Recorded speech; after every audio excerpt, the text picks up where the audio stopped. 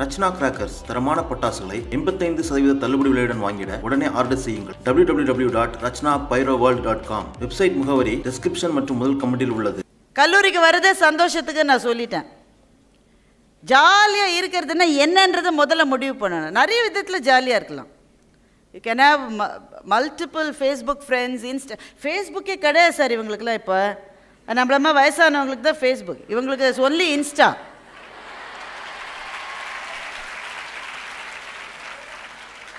Only Insta அதில் post பண்ணேன் நிறைய ஃப்ரெண்ட்ஸ் கிடைப்பாங்க. நிறைய பேர் வந்து ரிக்வெஸ்ட் வரும் இதில் ஜாலியாக இருக்குன்னு ஜாலியாக தான் இருக்குது ஏன் பொறாமையா உங்களுக்கு? அப்படின்னு எங்களை பார்த்து கேட்குது ஆனால் இதுதான் சந்தோஷமா? தெரியலையே. Don't you feel there is probably a bigger purpose in life அது காலேஜில் இருக்கிற மட்டும் டீச்சர்ஸ் பார்த்துப்பாங்க அப்பா அம்மா ஃபீஸ் கட்டிடுவாங்க அப்படி அப்படியே எல்லாரும் பார்த்து பார்த்து பார்த்து பார்த்து கூட்டிகிட்டு போயிடுவாங்க. வெளியில் வந்தோன்னே திடீர்னு you're left all by yourself அப்போ வெளியில் போன உடனே இந்த மரம் எப்படி வளர வேண்டும் என்பதை இந்த மூன்று வருடங்களில் உங்களினுடைய வேரை உறுதி செய்து கொள்ளுவதில் நீங்கள் இந்த நேரத்தை செலவழிக்க வேண்டும். ஒரு சின்ன கதை சொல்லட்டா? ஒரு வயசான ரிட்டையர்ட் கவர்மெண்ட் அஃபிஷியல் ஒரு வீட்டில் இருக்கார். பக்கத்து வீட்டில் ஒரு ஐடி கம்பெனியில் வேலை செய்கிற ஒரு இளைஞன் இருக்கான். ஐடி கம்பெனியில் வேலை செய்கிற இளைஞன் அப்படின்னா உங்கள் கண்ணில் என்ன உருவம் தோன்றுகிறது? அவன் தான் அது. அதே மாதிரி ஒரு ஜீன்ஸு அதே மாதிரி ஒரு டிஷர்ட்டு ராத்திரி மூணே முக்கால் மட்டும் வேலை செய்வான். அப்புறம் காலையில் பதினோரு மணிக்கு எந்திரிச்சு ஆஃபீஸ் போவான். இந்த கம்பெனியில் எப்படி நடத்துகிறாங்கன்னு கடைசி மட்டும் யாருக்குமே புரியாது. ஏன்னா யாருக்குமே டைம் கிடையாது. அதே மாதிரி go getter aggressive he gets what he wants in life உங்கள் ரெண்டு பேரும் செடி வாங்கினாங்க. தெருவில் செடி விற்றுட்டு போனால் ரெண்டு பேரும் செடி வாங்கினாங்க. இந்த கா ரிட்டையர்ட் கவர்மெண்ட் அஃபிஷியல் தாத்தா வந்து அந்த செடியை வந்து சுமாராக தான் பார்த்துப்பார். அப்பப்போ தண்ணி விடுவார். அப்படி கொஞ்சம் கொஞ்சம் கவனிச்சுப்பார். இவன் வந்து ஏன்னா இவனுக்கு கோ கெட்டர் நான் ஒன்று நினச்சா அது நடக்கணும். தினம் தண்ணி விடுவான். ஒவ்வொரு வாரமும் உரம் போடுவான். வந்து வந்து வந்து பார்ப்பான். அப்படி இப்படி இப்படி இலையை கத்தரிச்சு விடுவான். என்ன ஓல்ட் மேன் உன் செடி பாரு. சும்மா கம்முன்னு இருக்கு. என் செடி பாரு. புசு புசுன்னு இருக்கு. அவன் என்னால் அவ்வளோதான்ப்பா முடியும். உன்ன மாதிரிலாம் கவனிச்சிக்க முடியாது. திடீர்னு புயல் வந்தது. சென்னையில் ஒரு மழை நாள். பயங்கர புயல். அடுத்த நாள் ரெண்டு பேரும் ஓடி வந்து பார்க்குறாங்க. இந்த ஐடி இளைஞனுடைய செடி அப்படியே வேரோடு போய் சாஞ்சிருச்சு. தாத்தாவோட செடி நல்லா இருக்கு. அவனுக்கு கோவம் வந்துச்சு. ஏ ஓல்ட் மேன் ஏன் உன் செடி மட்டும் நல்லா இருக்கு. ஏன் செடி விழுந்துருச்சு? நீ என்னவோ பண்ணியிருக்க இல்லாட்டி இப்படி நடந்திருக்கா. ஏ நான் என்னப்பா பண்ணேன் அவர் சிரிச்சுக்கிட்டே சொன்னார் நீ ரொம்ப கவனிச்சிட்ட ராஜா அவன் செடியை. ரொம்ப தண்ணி விட்டுட்டா ரொம்ப கவனிச்சுக்கிட்ட ரொம்ப பார்த்துக்கிட்ட. செடி என்ன நினச்சது? இவன் தான் நம்மளை பார்த்துக்கிறான்னு வேற உள்ள ஆழமாக அது விடவே இல்லை. நான் சுமாராக தான் அப்பப்போ தான் தண்ணி விட்டேன். இந்த செடி சொல்லிச்சு இந்த கிழமை அப்பப்போ தான் தண்ணி விட்றான். நாமே உள்ள வேற இறக்கி தேடினா தான் உண்டுன்னு வேறு ஆழமாக விட்டுருச்சு. அதனால தான் நான் வாழ்ந்தேன்.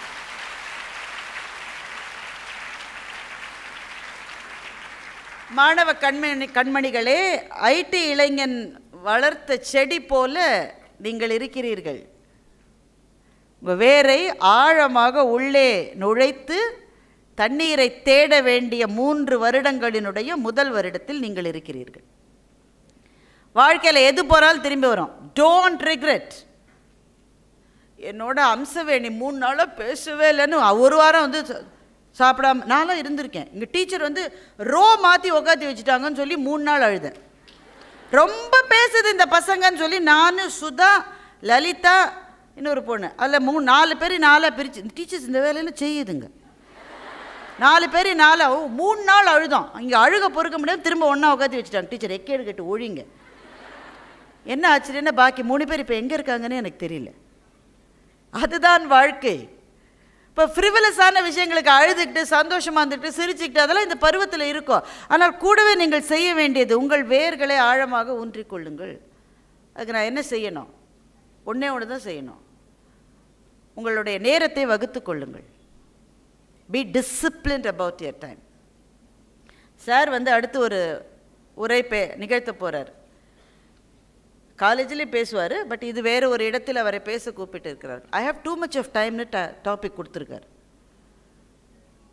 Does you have too much of time எவ்வளோ பிஸியாக இருக்கார். ஆனால் I have too much of டைம்னு டாபிக் கொடுக்குறாரு. அப்போ நாமெல்லாம் நம்மளை பற்றி என்ன சொல்லுவது கண்மணிகளே? அசைன்மெண்ட்டுக்கே டைம் இல்லைன்றோம். குளிக்கவே டைம் இல்லை மிஸ் எனக்கு. எங்குது ஒரு பொண்ணு? காலையில் எழுந்து பல் தேய்ச்சோன்னு ஒரு படம் எடுத்து போடுது. அப்புறம் பரோட்டா தின்னுட்டு ஒரு படம் எடுத்து போடுது அப்புறம் அடுத்த ரெண்டு மணி நேரம் அழுவுது. ஏன்னா யாருமே லைக் பண்ணலையா அது செய்கிறீங்களா இல்லையா? சும்மா கதை அடிக்கக்கூடாது. உங்களுடைய நேரம் உங்கள் கையில் இருக்கிறதா? Do you have a disciplined approach towards time பாடெல்லாம் ரொம்ப இல்லை. சும்மா இந்த கதையே அடிக்கக்கூடாது. எனக்கு கட்டாயம் தெரியும். ப்ளஸ் டூவோட கம்மியாக தான் இருக்குது பாடம் படிப்பதற்கு ஒரு நேரம் இருக்கிறது. பாக்கி நேரத்தில் என்ன செய்கிறீங்க என்ன செய்கிறோம் நாங்கள் சீரீஸ் பார்க்குறோம். நெட்ஃப்ளிக்ஸ் எதுக்கு இருக்கேன் நமக்கு? சூட்ஸ்னு ஒரு சீரீஸ் என் பொண்ணு பார்த்துக்கிட்டே இருப்பாள் இந்த சிந்துபாத் கதை முடிஞ்சாலும் முடியும் அது முடியாது. போய்கிட்டே இருக்குது என்னங்க பன்னெண்டு எபிசோடா ஒவ்வொரு எபிசோட்லேயும் இருபத்தஞ்சு இதுவா? போய்கிட்டே இருக்கு. பார்த்துக்கிட்டே அப்படியே இருக்கு. அப்புறம் ஏதாவது ஒரு சீன் வந்தால் டப்புன்னு அதை இதில் போட்டுருவோம். அது வீட்டுக்கு நடுவில் பார்க்கிற சீரீஸ் இல்லை அதெல்லாம். தனித்தனியாக அவங்கவுங்க பார்த்துக்க வேண்டியது அதெல்லாம். ஒரு காலத்தில் குடும்பமே டிவி பார்த்த கார் குடும்பம் இல்லை தெருவே சேர்ந்து ஒரு வீட்டில் டிவி பார்க்கும். ஏன்னா ஒரு வீட்டில் தான் டிவி இருக்கும். சில பேரில் டிக்கெட் போட்டு நாளாக இருபத்தஞ்சி பைசாலாம் கொடுத்து போய் டிவி பார்த்துருக்கேன். எதுக்கு? தடங்களுக்கு வரைஞ்சிக்கிறோம்னு போர்டு வரும் அதுக்காக. இப்போ நிறைய நேரம் இருக்குது என்ன செய்ய போகிறீங்க குயிக்காக அதை மாத்திரம் சொல்லிடுறேன். வேர்களை ஆழ ஊன்றுவது என்பதற்கு ஒரே ஒரு வழிதான் நமக்கு இருக்கிறது. படிப்பது. எதை படிக்கிறது? காமர்ஸ் தான் எங்கள் சப்ஜெக்ட் படிங்க எக்கனாமிக்ஸு மிஸ் ஏற்கனவே ரெண்டு தடவை மேக்ரோ மைக்ரோ ரெண்டு வேறு இருக்குது நான் அதை சொல்லலை. உங்களுக்கு உங்களை பற்றி எவ்வளவு தெரியும்? தெரிந்து கொள்ள வேண்டுமென்றால் படியுங்கள். மகாகவி பாரதி சொன்னார் இந்த நாட்டில் படிக்கிறவர்களை பற்றி மகாகவி பாரதி சொன்னார். கம்பன் என்று ஒரு மானுடன் வாழ்ந்ததும் காளிதாசன் கவிதை புனைந்ததும் உம்பர்வானத்து கோளையும் மீனையும் ஓர்ந்தளர்ந்ததோர் பாஸ்கரன் மாட்சியும். நம்பரும் திரளோடு ஒரு பாணினி ஞால மீதினில் நல் இலக்கணம் சமைத்ததும். அன்னையாவும் அறிந்திலர் பாரதத்து ஆங்கிலம் பயில் பள்ளியுள் புக்குனர் என்று மகாகவி பாரதி சொன்னார்.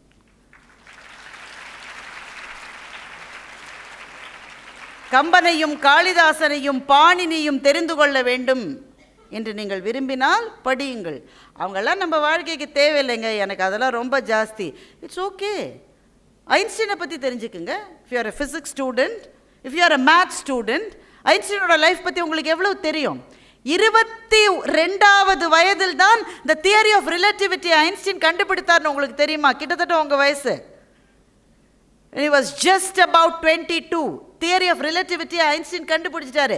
இன்னமும் ஃபிசிக்ஸ் மிக்ஸ் சொல்லி தருது நமக்கு புரியல. மனப்பாடம் பண்ணி வச்சுருக்கோம். மிஸ்ஸுக்கே புரியுமான்றது சந்தேகம்தான். Is equal to MC square prove பண்ணிவிடுவான் what is really the theory of relativity உங்களால் சிம்பிளாக சொல்ல முடியுமா? நிறுவனங்களுக்கு நீங்கள் போனால் தோழிகளே சில எலிவேட்டர் டாக்னு ஒன்று சொல்லுவாங்க. திடீர்னு மேலதிகாரியை லிஃப்ட்டில் சந்திக்கிறீங்க. என்ன செய்வீங்க? இல்லை இப்போ உங்களுடைய சேர்மனும் நீங்களும் இந்த காலேஜோடைய வளாகத்திற்கு நடந்து வரீங்க. நீங்கள் என்ன செய்வீங்க? ஏய் பதுங்கு.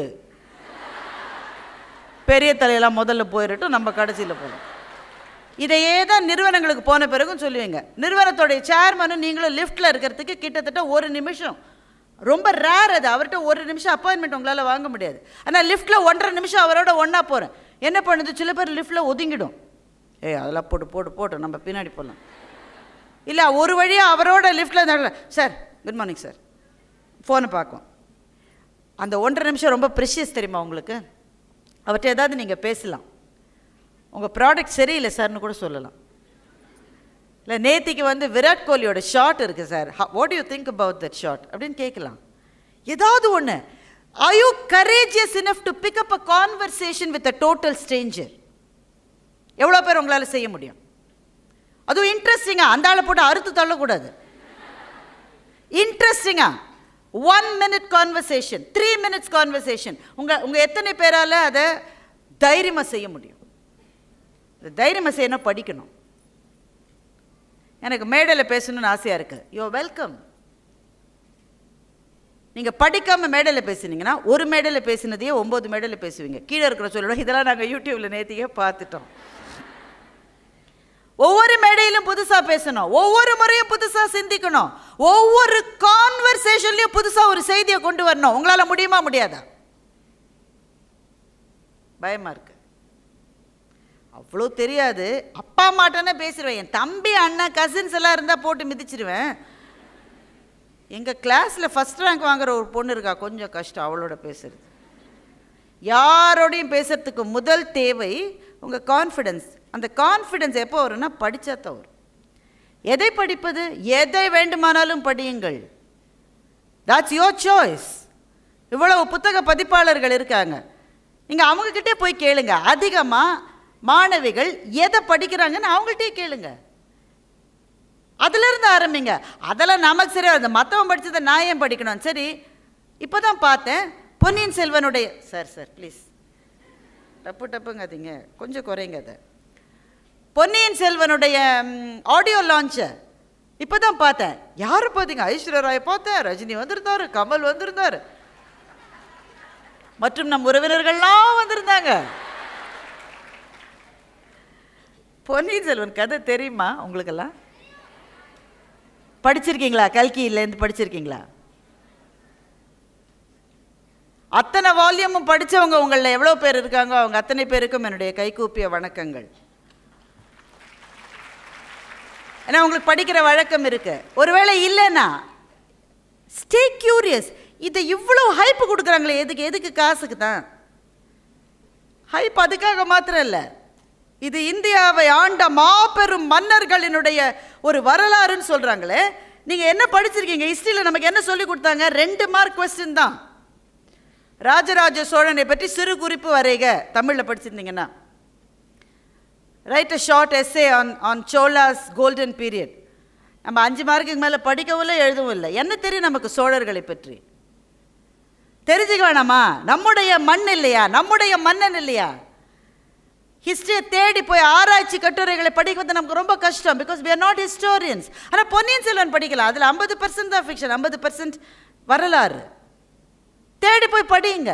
பி அஹெட் பொன்னியின் செல்வன் படம் வந்த தான் தெரிஞ்சுக்கணுமா? செப்டம்பர் முப்பது மட்டும் டைம் இருக்கு. இப்போவே படிங்க. ஏதாவது ஒன்று படிங்க. எது உங்களுக்கு பிரியமோ அதை படியுங்கள். பிரமிளா மேடம் பேசுகிற போது சொன்னாங்க பகத்சிங்கை தூக்கில் போடுவதற்கு முந்தின கணம் வரை படித்து கொண்டிருந்தார் என்று. என்ன நடந்தது தெரியுமா அங்கே? அங்கே காவலாளியாக இருந்தவர் அதை பதிவு செய்கின்றார். பகத்சிங் ஜத்தீன் தாஸ் சுக்தேவ் மூணு பேரையும் தான் தூக்கில் போட போகிறாங்க ஒன்றா தூக்கில் தொங்க போகிறாங்க பகத்சிங்குக்கு அப்போது இருபத்தி ஏழு வயசு. தூக்கில் போடுறதுக்கு முதல் நாள் மட்டும் என்ன டைம் சொல்லியிருந்தாங்களோ அடுத்த நாள் காலை ஆறு மணிக்கு தூக்கில் போட போகிறதா சொல்லியிருந்தாங்க.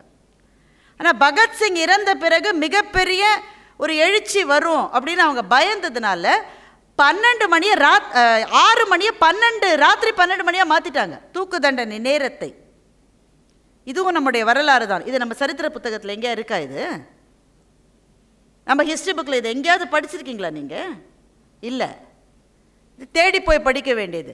ஆறு மணிக்கு தூக்கில் போடுறதாக தான் நினச்சிட்டு இருந்து பகத்சிங் ஒரு புத்தகத்தை படித்து கொண்டிருந்தார். திடீர்னு ராத்திரி பன்னெண்டு மணியாக மாற்றிட்டாங்க அவன் வந்து காவலாளி வந்து சொல்கிறார் வாங்க கிளம்பலாம் போகலாம். இல்லையா ஆறு மணிக்கு தானே தூக்கு இல்லை டைமை மாற்றிட்டாங்க யார் டைமை மாற்றினதுன்னு பகத்சிங் கேட்குறேன் அதெல்லாம் எனக்கு தெரியாதுங்க. எங்ககிட்ட சொல்லிட்டாங்க. இப்போவே தூக்கில் போட சொல்லிட்டாங்க. இன்னும் எவ்வளவு நேரம் இருக்குது மூணு நிமிஷம் இருக்குது இன்னும் மூணு நிமிஷத்தில் தூக்கு தண்டனை என்று ஒரு இருபத்தேழு வயது இளைஞனிடம் சொன்னால் அவன் மனம் எப்படி இருக்கும் தோழிகளே? பகத்சிங் இன்னும் மூணு நிமிஷம் இருக்குன்ன உடனே இந்த புத்தகத்தை முடிக்க முடியாதுன்னு சொன்னார். ஆறு மணிக்குள்ளே முடிக்கிற மாதிரி படிச்சுட்டு இருக்காரு. மூணு நிமிஷம் தான் இருக்குன்னா புத்தகத்தை முடிக்க முடியாது. ஐயோ முடிக்க முடியாதே அப்படின்னு சொல்லி புத்தகத்தை மூடி மூணு பேரும் நடந்து போனாங்களாம். பகத்சிங் பாக்கி ரெண்டு பேர்த்தையும் கேட்குறாரு அங்கே போய் நம்மளுடைய கழுத்தில் அந்த சுருக்கு இருக்குகிற போது என்ன சொல்ல வேண்டும் என்று ஞாபகம் இருக்கிறதா? ரெண்டு நண்பர்களும் சொல்கிறார்கள் பகத்சிங் எப்படி மறக்க முடியும்? ஞாபகம் இருக்கிறது. மூன்று பேரும் போகிறார்கள் மூன்று தூக்கு கயிறுகள் கழுத்தை சுற்றுகின்றன. கண்ணுக்கு மேலே கருப்பு துணி போர்த்தப்படுகிறது அந்த தூக்கு போடுகிறவன் அந்த லீவரை இழுக்கிறான். மூன்று பேரினுடைய கழுத்தை பயாலஜி ஸ்டூடெண்ட்ஸ் இருந்தால் தெரியுங்க ட்ரெக்கியான்னு ஒரு எலும்பு இருக்குது தூக்கு போடுகிற போது என்ன ஆகிறது என்றால் அந்த கயிறு அந்த எலும்பை முறிக்கிறது. அந்த எலும்பு முறிக்கிற போது உயிர் பிரிகிறது. ட்ரெக்கியாவை போய் அந்த கயிறு இருக்குகிற போது மூன்று பேரும் ஒரே குரலில் ஒரே மாதிரியாக இன்குலாப் ஜிந்தாபாத் என்று கத்தினார்கள். இதுதான் நடந்தது. உனக்கு எப்படி தெரியும்? நீ பக்கத்திலேயே இருந்தியா? நான் படித்தேன். படிக்கிற போது ஒரு சின்ன உணர்வு வருதுல்ல? இருபத்தேழு வயது இளைஞன் சிரிச்சுக்கிட்டு தூக்கு மேடைக்கு போயிருக்கான். இந்த தேசத்தின் சுதந்திரம் சும்மா கிடைக்கவில்லை தோழிகளே. இப்படிப்பட்ட தியாகத்தின் மீது கட்டப்பட்டிருப்பது நம்முடைய சுதந்திரம்.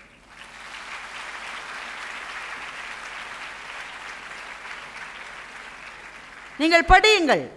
நீங்கள் நீங்கள் ஆத்திகர்களாக இருக்கலாம் கடவுள் நம்பிக்கை இருக்கலாம். ஆனால் நாத்திகர்களினுடைய புத்தகங்களை படியுங்கள். அதை எப்படி நான் ஏன் அதை படிக்கணும்? எனக்கு கடவுள் நம்பிக்கை இருக்குது அவன் அவனை கண்டா எனக்கு பிடிக்காது. எவனை பிடிக்காதோ அவன் சொன்னதை படியுங்க. அப்போதுதான் அவன் என்ன சொல்லுகிறான் நான் என்ன நினைக்கிறேன்? இரண்டையும் ஒப்பிட்டு உங்களினுடைய கருத்தின் மீது உங்களுக்கே அதிக பிடிமானம் வர வேண்டும் என்றால் எதிர்த்தரப்பை தெரிந்து கொள்ளுங்கள். எதிர்த்தரப்பை தெரிந்து கொள்வதற்கு படியுங்கள். ஃபிக்ஷன் படிங்க நான் ஃபிக்ஷன் படிங்க கட்டுரை படிங்க கவிதை படிங்க எது பிடிச்சிருக்கோ படிங்க. எதுவுமே இல்லைன்னா டைம்ஸ் ஆஃப் இந்தியாவது எடுத்து படிங்க. திருக்குறள் படிங்க. ஒரு நாளைக்கு ஒரு திருக்குறள் வாழ்க்கையை அப்படியே மலரச் செய்துவிடும். படிக்கிறீர்களா என்பது முக்கியம்.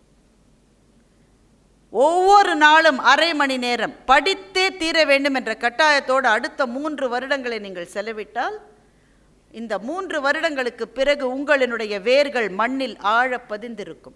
உலகத்தை சந்திக்கிற தைரியம் தன்னம்பிக்கை நேர்மை உறுதி உங்களுக்கு வந்திருக்கும். எல்லாவற்றையும் விட உங்களுக்கு புத்தகங்களை படித்தால்தான் சொற்கள் கிடைக்கும். த வெல்த் ஆஃப் வேர்ட்ஸ் சாருக்கு தெரியும். நாங்கள் இன்டர்வியூ பண்ணுற போது எங்களுக்கு இருக்கிற மிகப்பெரிய பிரச்சனை மாணவர்கள் நல்ல மார்க் வாங்கியிருப்பாங்க. பேச வார்த்தை வராது. வார்த்தைகள் வராது. உள்ள என்ன சொல்ல பதில் என்ன சொல்லணும்னு தெரியும். How do you think we should uh, address the uh, raising inflation uh, அவளுக்கு தெரியும். அதுக்குன்னு மேக்ரோ எக்கனாமிக்ஸில் சில தத்துவங்கள் இருக்கிறது. வார்த்தை தான் வரல காற்று தான் வருது. அப்போ வெல்த் ஆஃப் வேர்ட்ஸ் இருக்கணும்னா படித்தே ஆகணும். படிக்க படிக்கத்தான் உங்களால் பேச முடியும். மேடையில் பேசுகிறத சொல்ல ஈவன் ஃபார் நார்மல் கான்வர்சேஷன்ஸ் பத்து பேர் இருக்கீங்க நாளைக்கு நீங்கள் எல்லோரும் சாஃப்ட்வேர் கம்பெனிக்கு போகிறீங்க பத்து பேர் இருக்கீங்க டீம் லீடர் வந்தாங்க I have a new project one of you is going to head this who should I give this to அங்கே ஆண்கள் யாராவது இருந்தால் உடனே கை தூக்கிடுவான். அவனுக்கு தகுதி இருக்கா இல்லையான்றதை பற்றி சார் தப்பாக நினச்சிக்காதீங்க. அவ அவனுக்கு தகுதி இருக்கா இல்லையான்றதை பற்றி ஒரு செகண்ட் யோசிக்காமல் கையை தூக்கிடுவான். அங்கே பெண்கள் இருந்தால் என்ன பண்ணுவாங்க? முதல்ல ஒரு பெண் இன்னொரு பெண்ணை பார்க்கும். அது கை தூக்குதா? அது இதை பார்க்கும். சரி கை தூக்கிடலாமா? தூக்கிடலாமா? பாதி கை தான் தூக்கும். முழு கை தூக்காது. ஏன் பாதி கை? இப்போவே வீட்டுக்கு போக எட்டு மணி ஆகுது. புது ப்ராஜெக்ட் கொடுத்தா ஒம்பது மணி ஆயிடுச்சுன்னா மாமியாருக்கு திட்டுவாங்களே என்ன செய்வது? இந்த சிந்தனைகள் இருக்கும். But if you want an aggressive career you should be fearless பயமே இருக்கக்கூடாது. பயமே இருக்கக்கூடாது. எப்படிங்க பயப்படாமல் இருக்க முடியும்? பொம்பளை பிள்ளை வீட்டில் அப்படி தானே சொல்லியிருக்காங்க. பொம்பளை பிள்ளை பயந்து தான் இருக்கணும். யாராவது ஏதாவது சொல்லிட்டா சொல்லுடா சொல்லுடா. என்னடா சொல்லிடு? அந்த தைரியம் வரணும். சொல்லுடன் முகத்தில் ஆசிட் கொட்டிடுவேன்றான் ஒருத்தன். பதினெட்டு வயசு பொண்ணை பார்த்து கொட்டுடான்னு சொல்லணும். கொட்டுடான்னு கொட்டு பார்க்கலாம். உன் படம் என்கிட்ட இருக்குது தெரியுமா? நாளைக்கு வெளில வந்துடும் நான் சொல்கிறான் போடுறா. போடு. உங்கள் அம்மா அக்கா எப்படியோ அப்படிதான்டா நானும். போடுற படத்தை. என்று சொல்லிக்கிற தைரியம் இருக்கா உங்கள்கிட்ட? இருக்கா இல்லையா? மூணே மூணு பேர் மட்டும் சொல்கிறாங்க தைரியம் வேணும். தைரியத்தை எது கொடுக்கும் என்றால் படிப்பு தான் கொடுக்கும். புத்தகங்கள் தான் அந்த தைரியத்தை கொடுக்கும். அவங்க பேசும்போது சொன்னாங்க the bite of a மேண்டோ mango அந்த கதையை பற்றி சொன்னாங்க அவங்க. Mariatu Kamara. ஆப்பிரிக்காவில் இருக்கிற ஒரு ஊரில் ஒரு இனக்குழுக்கும் இன்னொரு இனக்குழுக்கும் சண்டை. அவங்க தக்ஸ் வராங்க உள்ள. அவங்களோட வே ஆஃப் பனிஷ்மெண்ட்டே என்னென்னா கையை இப்படி வச்சு மணிக்கட்டோட ரெண்டு கையை வெட்டிடுவாங்க. அதுதான் அந்த ஊரில். மரியாட்டு கமாரா பதினெட்டு வயசு பொண்ணாக இருக்கிற போது ஊரில் கலவரம். பதுங்கிட்டு தான் இருக்கா. பதுங்கினவளை முடியை பிடிச்சி வெளியில் இழுத்து ஷி வாஸ் நாட் ரேப் ஏன்னா அந்த ஊரில் வந்து பழி ஒவ்வொரு இடத்துல பழி வாங்குதல் பெண்களின் மீது வேறு வேறு விதமாக இருக்கும் சகோதரிகளே. அந்த ஊரில் என்னென்னா கையை இப்படி வச்சு மணிக்கட்டோட ரெண்டு கையை கட் பண்ணிட்டாங்க. கட் பண்ணி ரத்தம் கொட்டு கொட்டுன்னு கொட்டுது. அப்படியே கீழே விழுந்து கிடக்குறா. எவ்வளவு நேரம்? நகர முடியாது. நகர்ந்தாலும் எதையாவது பிடிச்சி சாப்பிட முடியாது. கை இல்லை. அப்போ அந்த வழியாக ஒரு ஆள் போகிறா இவ கெஞ்சுறா எனக்கு கொஞ்சம் தண்ணி கொடுத்துட்டு போங்கன்னு. அந்த ஆள் ஓடிட்டுருக்கான். ஓடுற ஓட்டத்தில் இவளுக்கு தண்ணி கொடுக்கலாம் அவனுக்கு முடியல. அங்கே இருந்த ஒரு மாம்பழத்தை அவன் மேலே தூக்கி எரிஞ்சிட்டு அவன் ஓடி போயிடுறான். தன்னுடைய ரத்தம் சொட்டுகிற மொன்னையான ரெண்டு கையை வச்சுக்கிட்டு நகர்ந்து போய் வாயாலேயே கடித்து அந்த மாம்பழத்தை சாப்பிட்டான் மாம்பழத்தை சாப்பிட்ட உடனே கொஞ்சம் தெம்பு வந்தது. தெம்பு வந்த உடனே நினச்சா உயிர் வாழ்ந்தே தீரணும்னு நினச்சா. அந்த பெண் இன்றைக்கு கேனடாவில் ஒரு ப்ரொஃபஸராக இருக்கா. இப்போவும் கை இல்லை. காலால் எழுதுறா. காலாலேயே கம்ப்யூட்டர் ஆப்ரேட் பண்ணுறா அவள் எழுதின கதை தான் the bite of a mango மாம்பழத்தினுடைய ஒரு துளியை அவள் சுவைத்த பிறகு வாழ வேண்டும் என்ற நம்பிக்கை அவளுக்கு வந்த கதையை படியுங்கள். உங்கள் வாழ்க்கையில் என்னென்ன சோகங்கள் இருக்கிறது என்று நீங்கள் நினைக்கிறீர்களோ அத்தனையிலிருந்து உங்களால் எழுந்திருக்க முடியும். அவமானங்கள் வருத்தங்கள் தோல்விகள் ரத்தம் கண்ணீர் வியர்வை எல்லாருக்கும் உண்டு தோழிகளே. ஆனால் இவைகளை துடைத்து கொண்டு ஒரு பெண் எழுந்து நிற்க வேண்டியது காலத்தின் கட்டாயம் என்று நீங்கள் நினைக்கிறீர்களா? அந்த நம்பிக்கையை புத்தகங்கள் மாத்திரம்தான் உங்களுக்கு கொடுக்க முடியும். அதனால் படியுங்கள். புத்தக திருவிழா என்பது ஒரு கோவில் திருவிழா அளவுக்கே புனிதமானது. ஒரு கோவிலின் திருவிழா எப்படி இரு கை கூப்பி வணங்கத்தக்கதோ ஒரு புத்தக திருவிழா என்பதும் அப்படி வணங்கத்தக்கது தான் அந்த புத்தகத்தில் உரைகின்ற சரஸ்வதியை நம்முடைய வீட்டு பூஜை அலமாரியில் வைத்து நாம் ஏன் வணங் வணங்குகின்றோம்? என்றால் புத்தகம்தான் நம் சிந்தனையை விரிவு செய்கிறது வாழ்வதற்கான நம்பிக்கையை கொடுக்கின்றது. அந்த நம்பிக்கையை விதையூற்றி நீரூற்றி மரமாக்குகின்ற வேலை வேலையில் ஈடுபட்டிருக்கின்ற உங்கள் கல்லூரியினுடைய நூலக குழுவை சார்ந்த அத்தனை பேருக்கும் என்னுடைய மனமார்ந்த பாராட்டுக்கள். தொடர்ந்து இதை செய்யுங்கள். உங்களினுடைய வேர் வளர்கிற போதுதான் நாளை என்கின்ற கிளையில் மலர்கின்ற உங்களினுடைய பூவில் வாசம் இருக்கும் வர்ணம் இருக்கும்.